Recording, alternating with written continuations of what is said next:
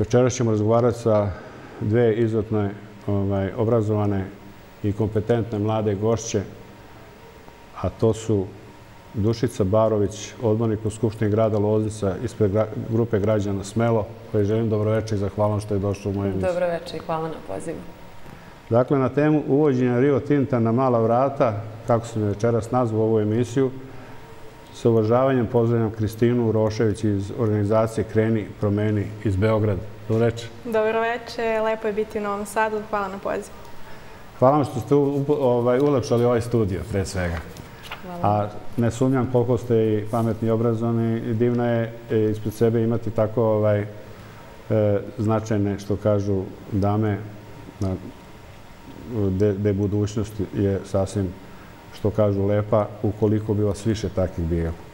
Poštovani na gospodice Vurošević, večeras je izuzetna prilika da na konkretnim primjerima objasnite našim gledalcima način funkcionisanja jedne digitalne organizacije, pošto je to dosta redko, poput vaše kreni, promeni.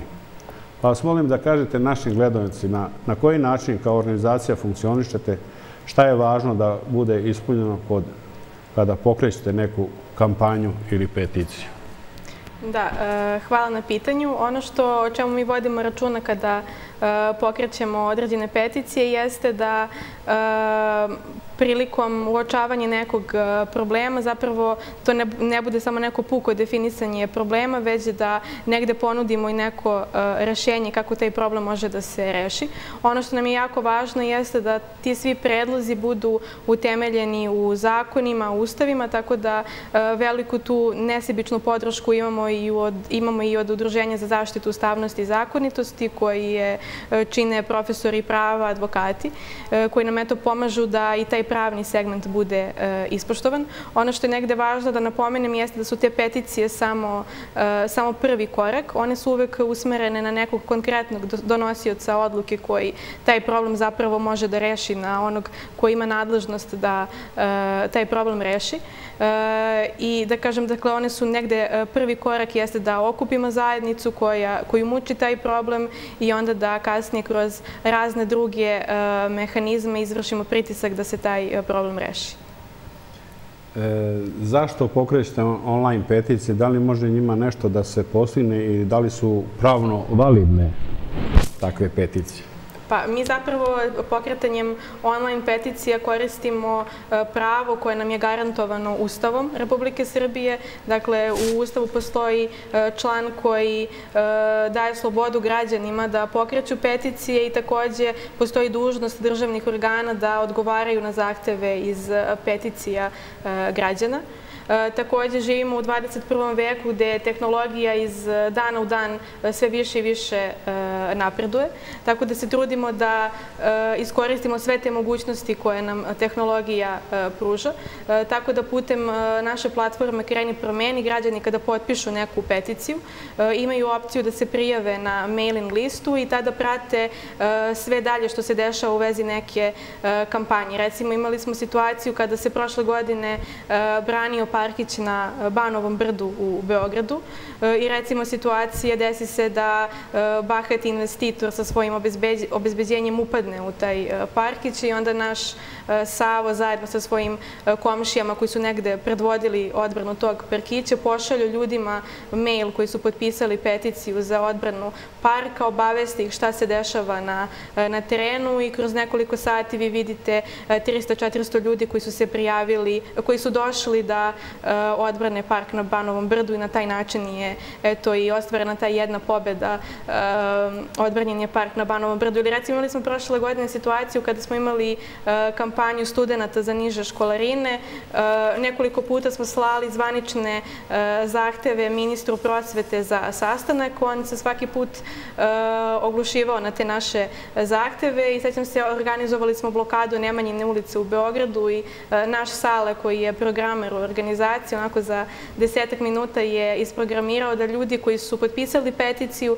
imaju mogućnost da u dva laka koraka pošalju mail ministarstvu sa zahtevom za sastanak i onda smo imali situaciju da su našeg Nikolu sutradan zvali iz ministarstva i molili da prestanemo jer smo im e, onemogućili rada da su preko, e, primili su preko 2000 mailova za samo 24 sata, tako da negde ukratko e, peticije su način da se čuje glas građana i da i da prosto taj online aktivizam prebacimo u realan svet.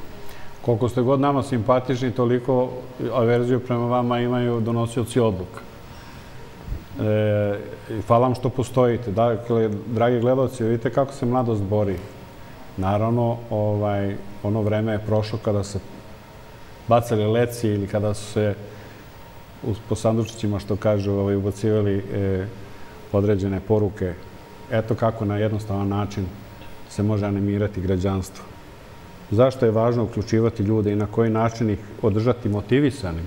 Eto, uspešno to uradite u određenom trenutku i recite samo našim gledalcima kakva je situacija sa ostalim gradovima. Naprimjer, pratite li dešavanja i aktivnosti u civilnom sektoru u drugim gradovima, poput, na primjer, kod nas u Novom Sadu, šta se sad, šta je sve e, aktivno i koliko tu dajete doprinos kao organizacija? E, Eh, na početku i na kraju svake promjene su ljudi i ništa ne bi bilo moguće bez eh, E, bez ljudi. E, što se tiče toga šta je ono što održava ljude motivisanim, e, to su svakako njihova mogućnost da budu uključeni i da se negde pitaju, da mogu da daju svoje predloge i sugestije. Također, veoma budi nadu neke prethodne pobede. Pomenula sam taj parkić na Banovom brdu. Mi sad imamo situaciju da ljudi u Beogradu brane svoju zelenu površinu u bloku 37 i upravo taj parkić na Banovom brdu je probudio nadu ne samo bukvalno na državnom nivou se ta pobjeda pominjala kao nešto e, veliko, tako da nijedna pobjeda nije mala, sve su velike. Bilo da je to e, da, da se borite za neki, da se asfaltira ulica u vašem e, naselju ili je to odbrana parka ili kao što smo imali situaciju prošle nedelje kada su se građani pobunili protiv zakona o vodama.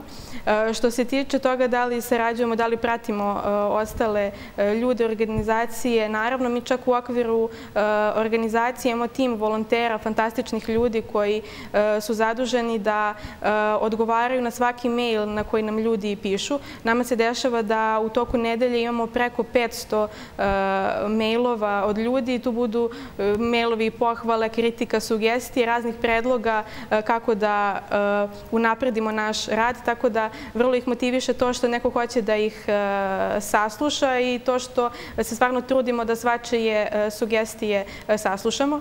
Također, Također imamo opciju i preko našeg sajta da nam ljudi predlažu peticije ili da sami pokrenu peticije preko e, naše platforme i samim tim da koriste mogućnosti koje e, ona pruža. Tako da smo vrlo otvoreni i sarađujemo sa dosta organizacija. U Novom Sadu imate volontere? Da, imamo našu e, Ljilju u Novom Sadu koja je, videli ste malo pre snimak podrške iz Novog Sada. Pozdravljamo Ljilju, kompletnu ekipu. Eto, iskoristili smo ovaj ovaj njihov performans zaista da pošaljemo poru. E, tako Novi Sad izgleda i tako Novi Sad razmišlja. Dakle, hvala vam ovaj, e, na ovim pojašnjenjima. Raduje nas da ćete još uspešniji biti i da će veća koordinata da bude na nivou cele države. Naše komšije u Rumuniji su se izborili za Rosija Montanu planinu, nalik na oblast u dolini Jadra koja je bila na udaru multinacionalne kompanije kao što je u ovom slučaju Rio Tinto. Tako što je ova oblast proglašena kulturnom baštinom UNESCO. Međutim, nije to samo po sebi došlo. To zahvaljujući ovaj, građanima. Time su planirali da isele meštane unište prirodu i eksploatišu rude, ali im građani to nisu dozvolili. Kakva je situacija sa nama? Objasnije nam gospodica Barović, odbornica u Skupštini grada Loznice ispred grupe građana. Pošto ja više volim da pozovem u goste oni koji se ne bave politikom, odnosno politikanstvom, nego aktiviste. Dakle, Dušica Barović je odbornica u Skupštini grada Loznice ispred grupe građana Smelo. Znači, političke ste neobojeni, ali tako? Tako je. Mi smo grupa građana e, nalazimo se u lokalnom parlamentu. E, sada smo podržali građansku inicijativu akcija e, i parlamentarna smo stranka, ali kao što ste rekli, nismo do te mere politički obojeni. Tako da mislim da, da smo koliko toliko neutralni na tom prljavom političkom terenu. Drago mi je, vi ste inače diplomirani građanski inženjer i ovaj, sigurno ste kompetentni da večeras da je tema urbanistička mafija ili haos što se tiče građenja u Srbiji. Mislim da će vas pozvati uskoro u goste ako budete smeli o tome da pričamo. Ali večeras je Rio Tinto na ovaj, dnevnom redu, da tako kažem, i vredi li išta poslata poruka Rio Tintu i donosioćam odluke koje se pozivaju na volju građana, da je volja naših ljudi širom sveta poput one koja je postala, uh, poslata performansom ovaj, Rio Tinto marš sa Drine ili će vlast opet prodati veru za večeru i za sva vremena zapečati sudbinu građana ne samo zapadne Srbije, nego i šire. E, mislim da apsolutno vredi svaka poruka koja je poslata. Mi smo imali priliku juče da vidimo da je jedna skupština e, u gradskog parlamenta grada Loznice koja do sada nije imala neko veliko interesovanje u javnosti, dospela u žižu javnost zbog ovog jednog prostornog plana koji mm, je u najmanju ruku diskutabilan po mnogo nivoa, pričat ćemo, pričat ćemo posle o tome i mislim da je poruka je poslata i vrlo je jasnan. E, eh, vidimo odgovore evo danas u medijima, juče. Tako da mislim da smo napravili jedan veliki korak ka onome zašto se protivimo, a to je otvaranje rudnika litijuma u Jadru.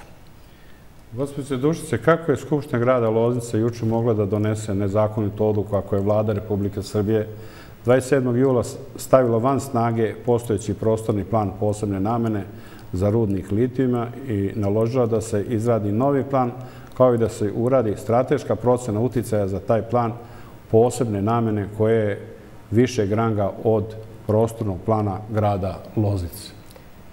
Pa mi imamo jednu absurdnu situaciju u lokalnom parlamentu i danas je baš eh, dekan eh, Šumarskog fakulteta rekao jednu ključnu stvar. E, odbornici koji sede tamo su ili neobrazovani ili preplašeni ili imaju prosto materijalnu korist. I to je to je jedna katastrofa našeg društva koja dovodi do, do, do ovakvih stvari.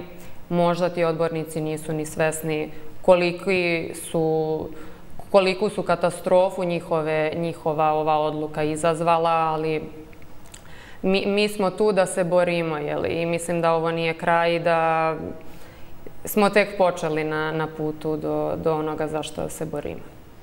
A koja je svrha uopšte donesete i stavljati na dnevni red e, Skupštinskog zasedanja tako jednu važnu temu kada se zna da Skupština grada, odnosno lokalna samouprava na tom nivou nije kompetentna da donosi odluku ovaj, kako su oni zamislili. Da li je to otvaranje Pandorine kutije, da li je to nešto što oni eto pokušavaju da znaju da to nije u redu. Nemoguće da nemaju pravnike, da nemaju tamo ovaj, ljude koji i ole nešto znaju da se, ili da se prave blesavi da bi, da bi jednostavno eto, poslali neku poruku po sistemu APP ako prođe, prođe kod naroda pa da oslabi taj naboj jel, pozitivan koji je zaista u vezi sa ovim problemom toliko što kažu, rasprostirio se u celoj Srbiji, a ne samo, evo, mi naravno Vojvođani i tekako smo zainteresovani da naš narod tamo ne strada.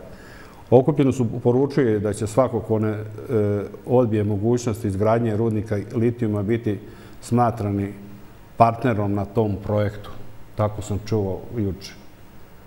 Koliko se poslušnika odbornika Skupštine grada Loznica juče izjasnilo kao partner na projektu Rio Tinto, tvrdeći da rudnik litijuma ne bi ostavio ogromnu posljedice po zdravlje i živote ljudi. Da li se tu radi o svesti, nesvesti, o parama, o čemu se tu radi? O nesvesti i o verovatno materijalnoj koristi. To nisam sigurna, ali sumnjam. E, vaše pitanje koliko je odbornika glasalo za, mi imamo u našem lokalnom parlamentu 59 odbornika. 50 je došla na Skupštinu, to je jedna interesantna stvar, samo je jedan odbornik opravdao svoje odsustvo, ostalih osam nije. Verovatno je kod tih odbornika proradila neka doza svesti. Od tih, znači 50 prisutnih, 41 e, je dalo svoje za, za taj prostorni plan koji, o kojem pričamo i koji ovaj, na mala vrata otvara put ka eksploataciji jadarita. E, nas e, šest je bilo protiv, ostali su bili uzdržani. E, šta je zanimljivo za ovaj prostorni plan? Oni kažu da je pravni osnov, da su to aktivnosti koje su prethodile i to ste vi naveli kao ovaj prostorni plan područja posebne namene koji se i nalazi na Ustavnom sudu pošto je podneta inicijativa za ocenu ustavnosti, a povrh svega dva dana pred tu skupštinu je taj PPPN e, doneta je odluka o izmeni. Tako da ovo što je sada usvojeno faktički niti je ustavno, niti mi znamo kakva je to izmena. Mi kao odbornici nismo, faktički trebali smo da glasamo za nešto za što ne znamo ni šta se nalazi u tom, u tom planu i to je jedan veliki absurd našeg društva. I ono što, je, što, je, što moram pomenuti je da u tom planu, kaže 14 od 52 katastarske opštine, više nisu pod ingerencijom grada Loznice, nego su one sada prepuštene kao planovi posebne namene i sada mi nemamo više kao lokalna samuprava nadležnost. Zato nema nikakve logike Da, mi sada uopšte nemamo nadležnost na tim katastarskim opštinama, ali još jednom napominjem, to je 14 katastarskih opština od 52, znači nije, nije mali ovaj procenat.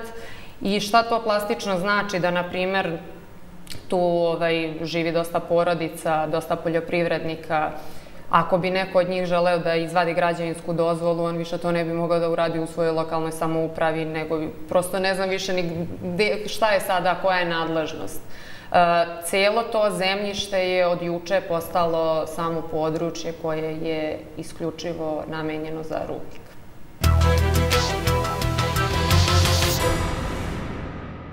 Večeras o sportu, ali i o politici u sportu. Razgovaram sa društveno-sportskim radnikom Vladom Rošuljem. Dobroveče i dobrodošli, gospodin Rošulj. Dobro vas našao. Evo, večeras u ovoj funkciji, e, večeras ćemo manje o toj nekoj aktuelnoj dnevno-političkoj politici. Više ćemo govoriti o sportu i, i politici u sportu. Da vas pitam da li pratite olimpijadu redovno. Kakvi su vaši utisci, evo? Pa kao i uvek kao i uvek, e, znači, mi ispratljamo uvek naše olimpijice sa najlepšim željama, sa najvećim očekivanjima. Sad neka se ispuni, neka se ne ispuni, ne ispune očekivanja. Uglavnom, e, zadovoljan sa nastupom naših olimpijaca, bez obzira da su osvojili medalje ili nisu. Mhm. Pa dobro, za sada jesmo osvojili neke medalje. Posle, osvojili smo malo da se obradila naša carica. Milica u. Da, da. Bila je dobra. Naravno, razočarali su nas neki koji su trebali da osvoje zlatne medalje, nisu mogli. Znači, Novak Đoković je podbacio zato što je... Ali šta se to zaista, evo prekidao, šta se to zaista dešava sa najboljim teniserom sveta, da ni na pretprošloj olimpijadi nije uspeo da osvoji medalju, evo i sada, Da li, da li vi imate neko objašnjenje? Šta pa, se to desilo sa Novakom Đokovićem? Imam objašnjenje. Zašto nas je razočarao? Pošto sam i ja bio sportista, znači otprilike znam kako to sve, kako se tempiraju, znači i sve ostalo, ovaj, pripreme, za, pripreme za rezultat i sve ostalo. Mislim da je on malo izgoreo, zato što se, znači, mnogo bio i umoran, imao je veoma napornu sezonu u tenisu. Mm pobedio je, ima bezbroj tih pobjeda, međutim, ja mislim da je pogrešio što je učestvovao u miksu ovaj put. To A da li je pogrešio što je opšte otišao na olimpijadu? Jer bilo je ono da je on kao nešto se dvoumio, hoće li otići, neće li otići na olimpijadu, a onda da li se možda plašio reakcije e, građana, naroda, kako da kažem, da će ga osuđivati. Reakcija građana se uvek plaše ti vrhunski sportisti, oni ostalom idu zbog tih građana tamo. On je izvršio svoj, znači, svoj zadatak, svoju obavezu. Otišao je, pa sad šta Bog da, ne treba ga sad osuđivati. Znači, nije pobedio, nije, pa i ovi njegovi protivnici su hteli da pobede. Znači, nije on tamo išao da statira. Znači, sve je tako. Eno, Medvedev, ovaj zapravo... Zverev. Zverev je, ja više volim Medvedev, zato sam napravila lapsus. E, Zverev je osvojio medalju za Nemačku, a Rusije da. Dobro, to je neka druga priča, možda ćemo i o tome ovaj stići večeras da govorimo. Da li je možda Novak Đoković pocenio svoje protivnike? Da li je on otišao na olimpijadu, mislim, prihvatio da igra i u dublu, Da li je on bio svestan da ipak to izaziva... Ja mislim da on nikog nije ovaj, pocenio. Da nije pocenio ne, on jednostavno nije mogao da pobedi, to je to, na, u tom trenutku. Mm. Možda bi on sutar dan i kroz sat vremena pobedi, ali baš u tom trenutku nije mogao da pobedi. I sad neki su bili jako razočarani, neki su bili tužni, ali mnogo je bilo oni koji su bili besni na njega. Što nije, eto, pa, to je da osvoji zlata, svih... onda ni bronzu. Pa to je sudbina svih tih naših kumira koje mi volimo. Znači, ne možeš ti sad nekog da voliš samo kad ostvaruje uspehe. Znači, ako trebaš da ga voliš i kad gubi, jer on je, znači, moraš za njega do kraja da budeš. Da. Pa i gubio je i na Pa, recimo, čovjek, većina ADP naših... ADP turnirima, pa se nismo ljutili na njega, Vidite, da. većina navijača, ona i razmišlja navijački. Sportisti razmišljaju malo drugačije, analitički. Znači, e, razmišljaju glavom, a navijači razmišljaju srcem. Znači, emocijama, a tu emocije ne mogu mnogo da pomognu. Da. To je vrhunski sport. I sad ono o čemu je on govorio da kao njemu će nedostajati publika. Evo sad, u uvodu sam rekla da je ova olimpijada zaista drugačija od svih olimpijada kojih se mi, evo tako, sećamo nastupati bez publike. Da li, da li je i to, da li ipak ta publika na neki pa, način... Publika u nekim sportovima motiviše ljude, uh -huh. a nekim sportovima možda i ne. Znači, zavisi kako, kako kad. Ali ti moraš da se takmičiš, znači bez obzira da li prisutuje publika ili ne, ali kako ne prisustuje njemu publika, tako ne prisustuje i njegovim protivnicama, znači da. svi imamo iste uslove. Da. Šta da radiš, da je tako. Da. Moramo se čuvati korone. Da. I sad kako ocenjuješ ovako ovu olimpijadu koja jeste drugačija, koja je i odložena?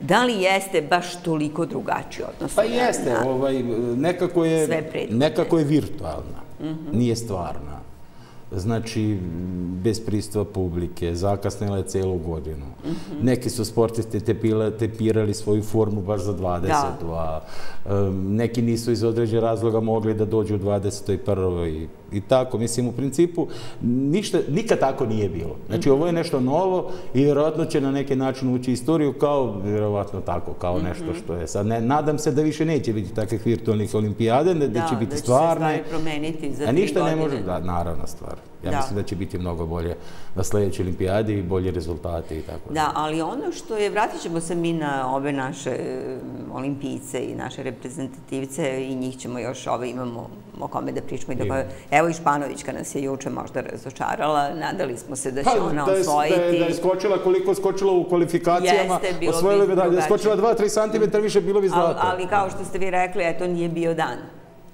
za pobedu. Jeste. Da. Ali ono što, o, o čemu bih htjela da govorimo jeste činjenica da se nekako politika, ne samo ove godine, nego znamo primjere iz nekih ranijih olimpijada i one olimpijade u Meksiku, u Mo Mo Moskvi. Pa Moskvi lučas osađene sa misliš u vezi da, ovih... Da, da, da se nekako politika Jest. meša u sport. Da li je to neophodno? Da li to tako mora?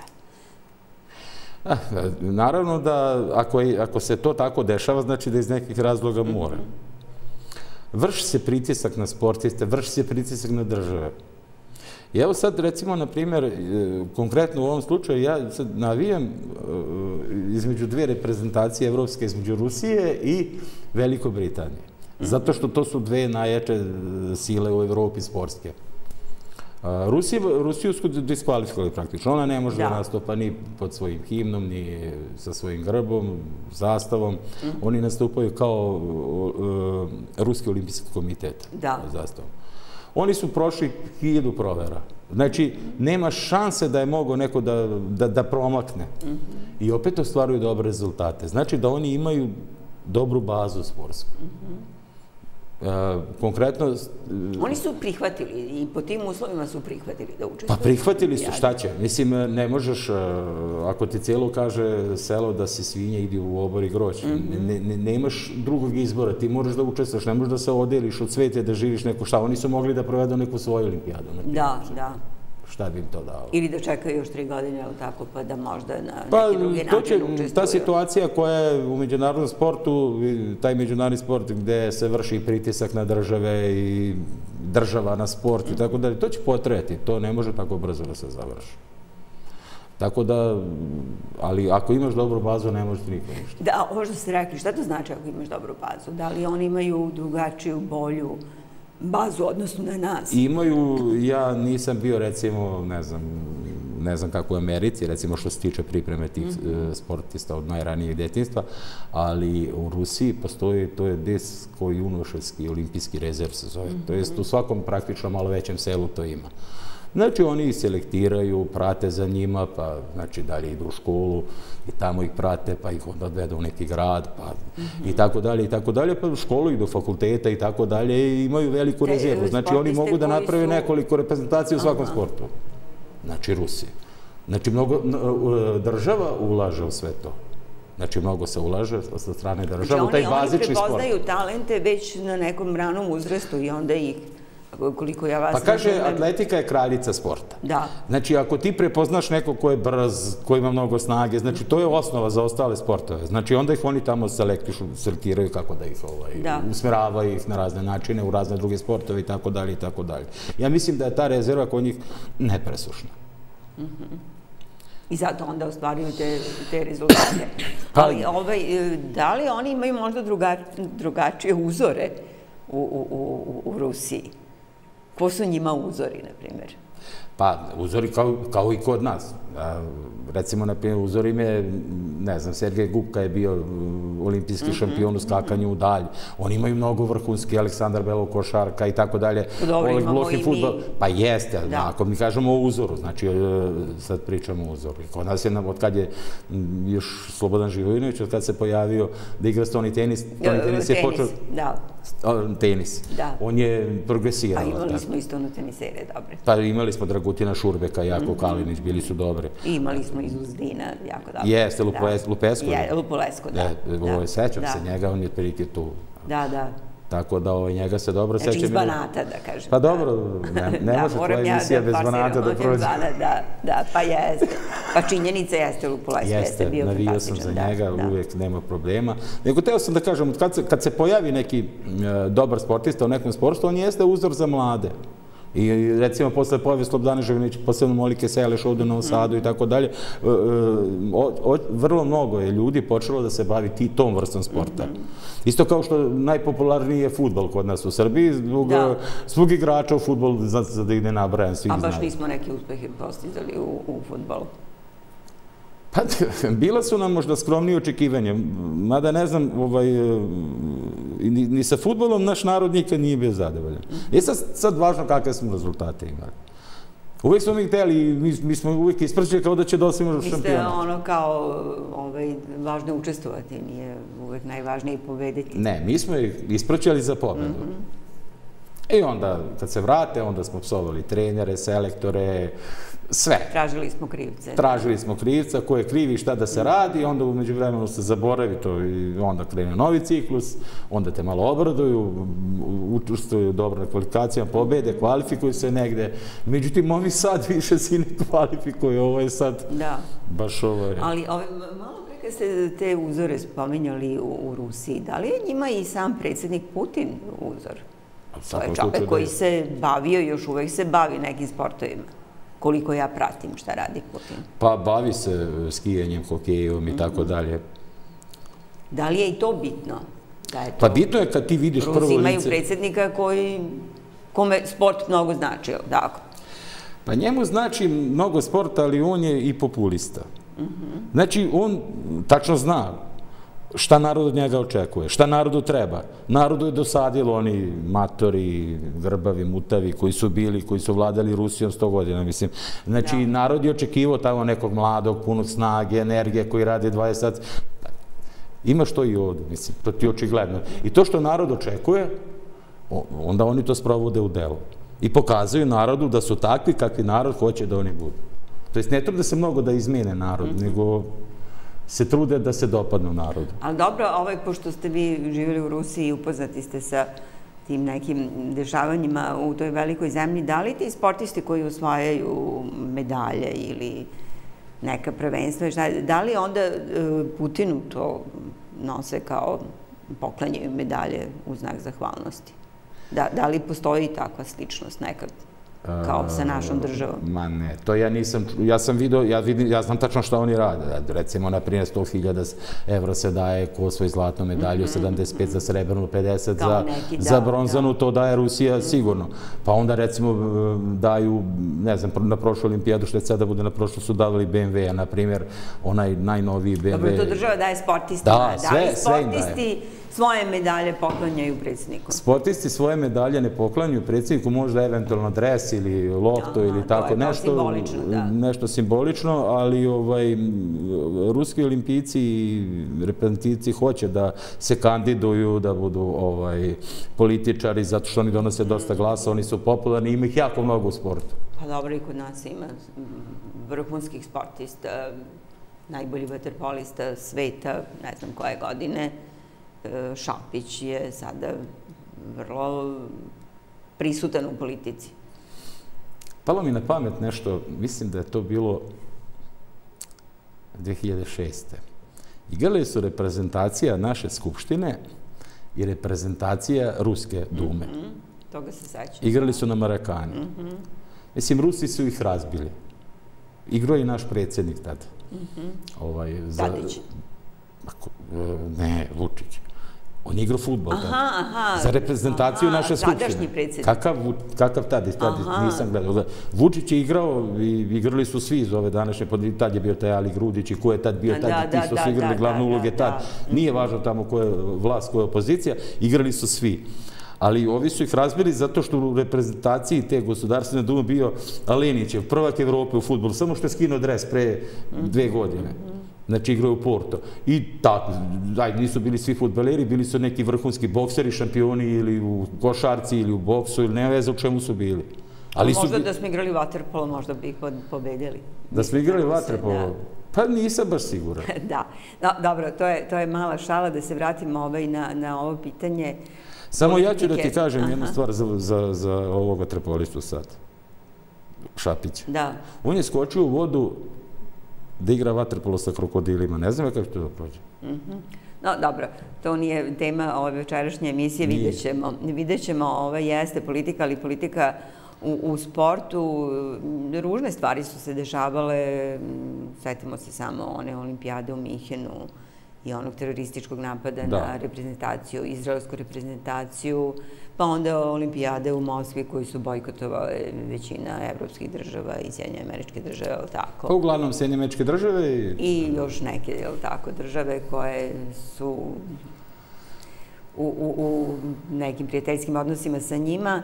E, ove godine kao da možda nema toliko, osim ove, ove zabrane e, Ruskoj federaciji da nastupa sa himnom i sa zastavom, ali evo desilo se nešto pre nekoliko dana.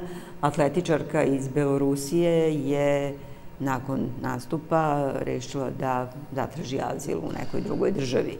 Znači, neće da se vrati u Belorusiju. Reč je o Kristini Divanovskoj. Mhm. Ona je vrhunska atletičarka, velika šampionka na 100 i 200 metara.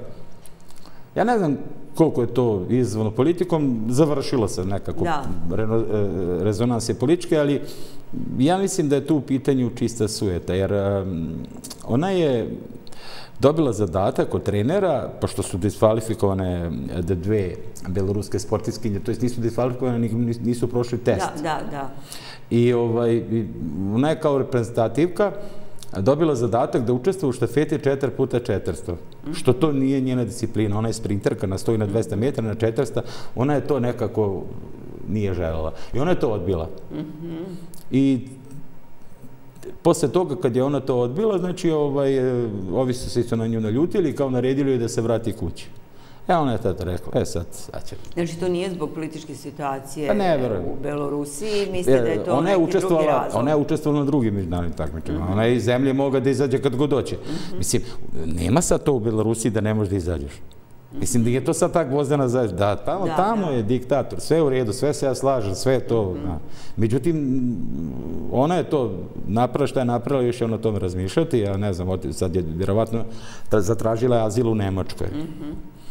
Možda će ona tamo nešto da produži da radi. Naravno da će to iskoristiti neke druge političke sile, možda će se ona sad uključiti u politiku. Ja ne znam koji su njeni motivi, ali nanela je velike, veliku štetu e, sportu u Belorusiji. To je sad neka velika depresija među tamo sportistima.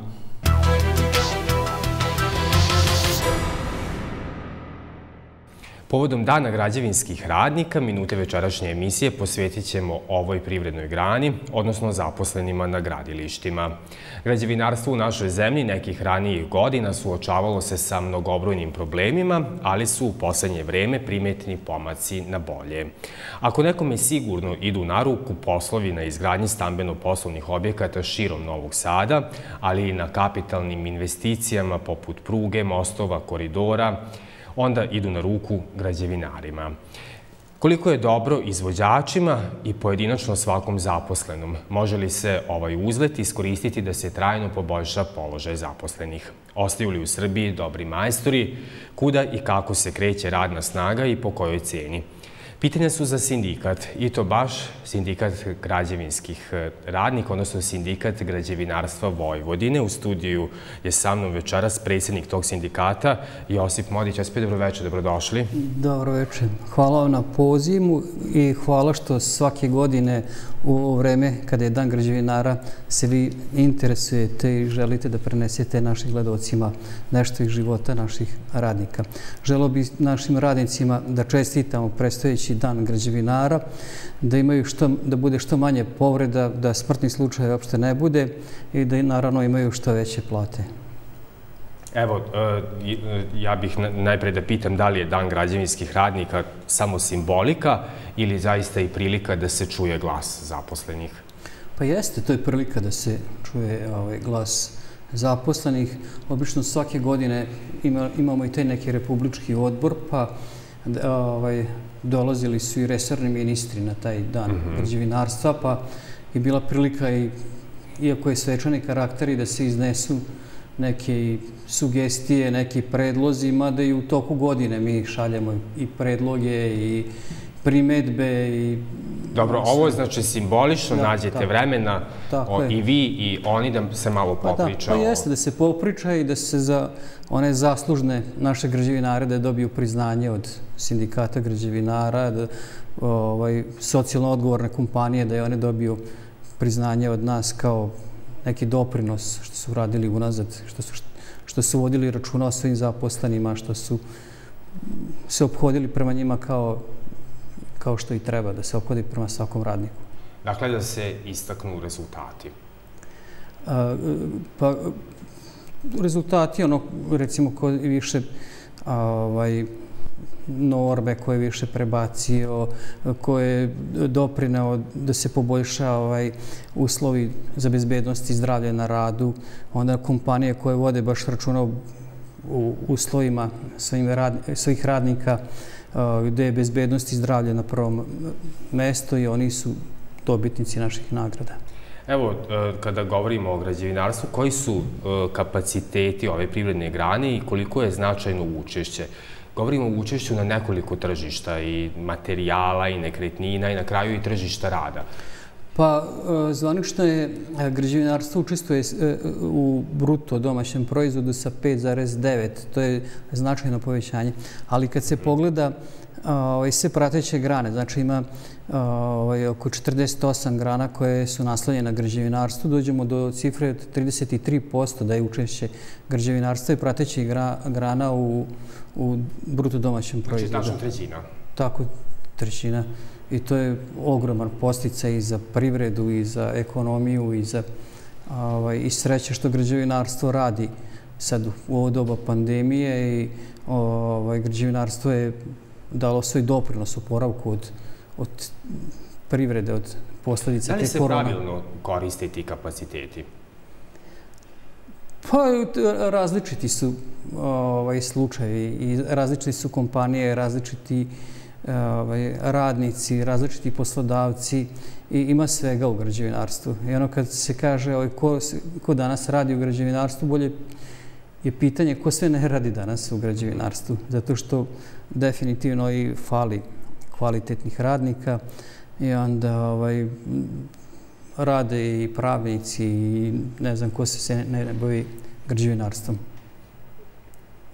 E, trenutno se radi na svakom čošku, bukvalno takav utisak se stiče i kako i koliko se koristi ta prilika, zarađuju li građevinske firme i radnici, e, da li ovo što e, se golim okom vidi na neki način zaista jeste dobro i za svakog onog ko je posljednji u tom lancu, odnosno ko slaže ciglu na ciglu. Pa tako je. Ovaj, u odnosu na neki raniji period, stvarno se sad ima dosta posla ovaj, povećani znači, obim poslova što se radi ovaj, i samim tim je fali znači, građanskih radnika, ovaj, znači da i potražne za tim građanskim radnicima, tako da su i plate i dnevnice dosta veće u odnosu na neki raniji period. Sad i ne možete da nađete sad čak i onog fizičkog radnika koji obavlja taj najjednostavniji posao, teško ga je naći i isto i oni imaju sad ono solidnu platu u odnosu na neki raniji period. A da ne govorimo o kvalitetnim zidarima, tesarima, armiračima, kranistima, variocima, bravarima, električarima, sva zanimanja fale, građevinski inženjeri kvalitetni. Znači, ovaj, uglavnom svi fale na našem tržištu. Radi se dosta, mnogi su otišli preko inostranstva za boljim zaradama. E sad polako se tu i neki vraćaju, ovaj, kako su tu i plate malo i dnevnice skočila i taj COVID je ovaj, doprinao da se vrate. Neki ostaju, neki će ostati, neki će opet šta je pokušati to, da ode. Šta je to solidna zarada kad kažete? Pa to je sad u odnosu na neki period pre ne znam koliko godina kad su radnici radili za onu minimalnu neku zaradu i bilo je, kad su poslodavci govorili, ako ti nećeš da radiš, ima deset drugih koji hoće da rade. Pa su praktično ucijenjivali naše radnike, pa ih nisu isplaćivali redovno. E sad je baš onako potražnja za kvalitetnim ovaj, radnicima, pa se kompanije i utrkuju kako bi im dali i bolje uslove i bolje plate. Imaju kompanije koje čak i daju i stanove za neke, deficit, za neke deficitarne ovaj, zanimanja za radnike, za ovaj, kvalitetne građevinske inženjere, pa je tako vezuje ih, tako da im stanove na neku otplatu dužu da bi ih zadržali. Ovaj, uplaćujemo ono, poreze, doprinose, a, ovaj, zaštitna opremu kupuju, imaju lice za bezbednost i zdravlje na radu, ovaj, imaju te akt o proceni rizika na radnom mestu. To su uglavnom te velike kompanije koje vode računa o radnicima i koji e, računaju da će raditi u narednim godinama, da će se baviti sa tim poslom. E sad ima i onih drugih koji rade od danas do sutra, da na brzinu da gledaju da zarade, da i onda tu ima dosta i rada na crno. To je najveći problem u građevinarstvu. I najveći broj povreda i smrtnih slučaja se upravo dešavaju na takvim gradilištima gde radnici rade koji nisu prijavljeni i gde nema lice za bezbednost i zdravlje na radu i gde se, vodi, gde se ne vodi računa o njihovim bezbednosti. Nažalost, ali evo ja e, ću se pre pitanja bezbednosti, a dotaći ćemo se toga malo da, širnije kasnije, opet vratiti na te solidne zarade, odnosno e, o kojoj cifri se može govoriti, o kojoj dnevnici? Pa sad zavisi sad ovaj, da li je radnik prijavljen i ovaj, da li radi u nekoj građevinskoj kompaniji gde je prijavljen. Ovaj, I tu je sad ono, zavisi koje zanimanje, tesar, armirač, oni imaju dobre dnevnice, pa tu su 3 po 4 evra, ovaj, satnica je tako, mhm. ovaj, nekad i više. Znači može da se zaradi 800, 900, 1000, 1200 evra možda se zaradi, je da to i radi se. Ali ne bi smelo da radi neprijavljeni, je li tako? Pa ne bi smelo, ali nažalost to je veliki broj. ovaj, neprijavljenih.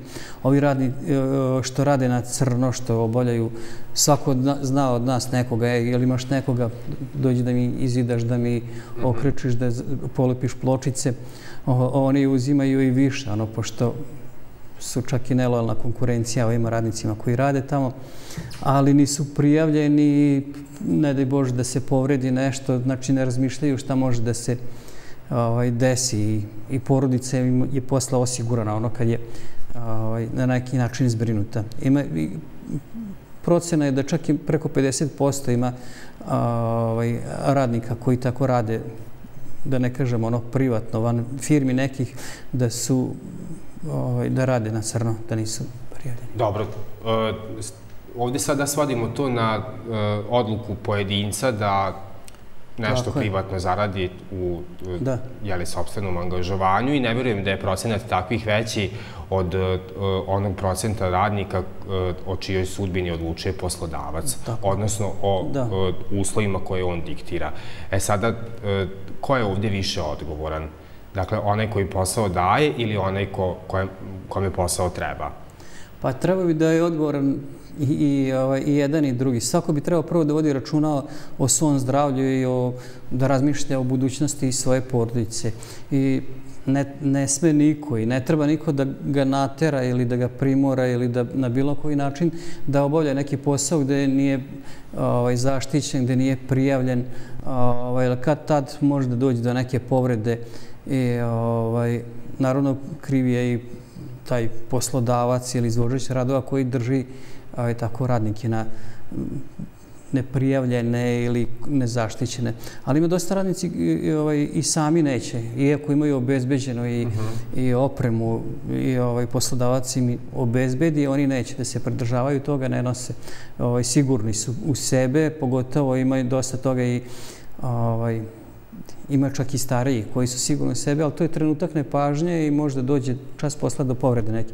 A najviše, pada, e, najviše povreda i smrti slučaj je bilo sa ovaj, pada sa visine, što se nisu vezali za zaštitnu ogradu i Dobro, tu se poteže i pitanje rada inspekcija. E, mi smo govorili da li oni reaguju samo po pozivu, ako znamo da ih ima nedovoljno. Kad kažem nedovoljno, to nije proizvoljna kvalifikacija, njih je zaista malo. Ne, ne, zaista. Mislim da ih u Novom Sadu, recimo, konkretno ima 12 i svaki je ovaj, zadužen za 1700 prirodnih objekata. To je znači praktično nemoguće da oni obiđu. Ovaj. I onda radi dosta i po prijavi. Ono, možda se prijavi anonimno ili sindikat da prijavi.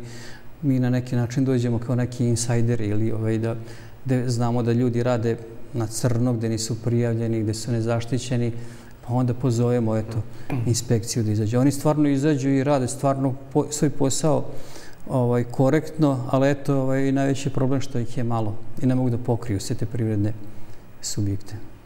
To je baš puno za jedno 1700, pa kad se pogleda da ima 360 dana, nemoguće je. Znači, mora da napravi izveštaj da, da i kad ode na teren i nemoguće da može da ode na, jednom, na jedan teren na dan ili na dva, ali mora da na, jedan ili dva, dva dana da napravi izveštaj, da napravi a, evidenciju gde je bio, šta je radio. I da, to je, znači da je to praktično nemoguće.